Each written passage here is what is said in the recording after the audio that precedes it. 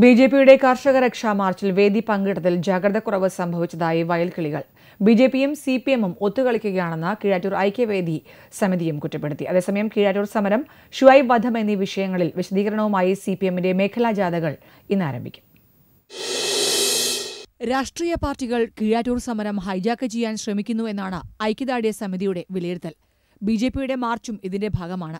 വയൽക്കിളികളും വീഴ്ച സമ്മതിച്ചു. ഇനി രാഷ്ട്രീയ പാർട്ടികളുടെ വേദിയിലേക്ക് പോകില്ലെന്ന് വയൽക്കിളികളും തീരുമാനിച്ചു.